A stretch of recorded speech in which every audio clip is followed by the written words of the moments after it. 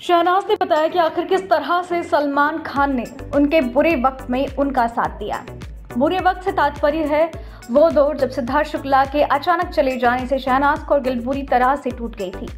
जी हाँ दोस्तों, शहनाज करगिल ने खुद ही अपने हालिया इंटरव्यू में इस बारे में खुलकर बातचीत की कि किस तरह से सलमान खान का उनकी ज़िंदगी में एक विशेष महत्व रहा है और क्यों वो एक वजह रहे हैं ज़िंदगी में आगे बढ़ने के लिए उन्हें प्रेरित करने के लिए। जी हाँ उन्होंने बताया, यानी कि शहनाज कौरगिल से जब सवाल किए गए तो उन्होंने बताया है कि सलमान सर मुझे मोटिवेट करते हैं।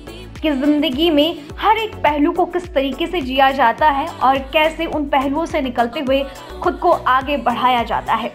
वो मेरे सबसे बुरे दौर में मेरे साथ थे, मुझे समझाया बुझाया वो सबसे बेहतरीन बात है।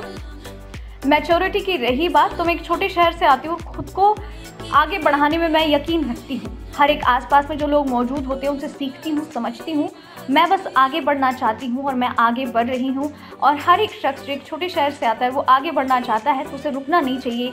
उसे लगातार अपने राह पर चलते रहना चाहिए। उसे ज़रूर कामयाबी मिलती है।